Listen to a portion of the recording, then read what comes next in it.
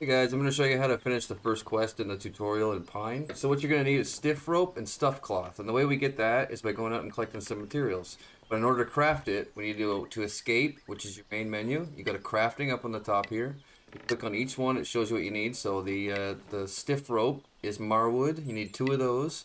And the stuff cloth is morrow hay and gravel moss. You need one of each. When you do that, you just hover over it, you hold down E, it'll make it down the bottom here. You close the menu and you hand it into this guy. That completes the very first quest. Alright, I hope this helped out guys. If it did, make sure you subscribe. There's going to be more Pine videos coming up here soon.